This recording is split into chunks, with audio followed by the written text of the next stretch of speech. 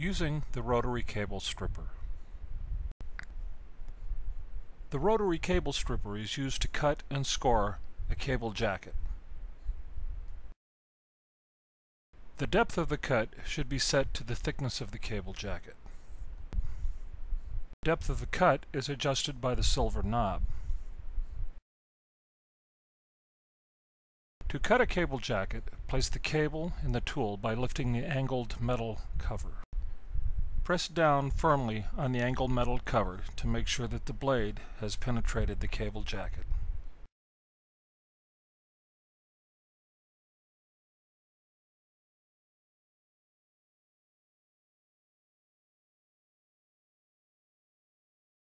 Rotate the tool around the cable five or six times.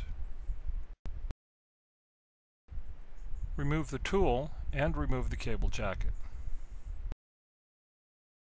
To slit a cable end, use your thumb and rotate the lever. Rotating the lever rotates the blade. Hold the lever in this position and slide the tool to the end of the cable.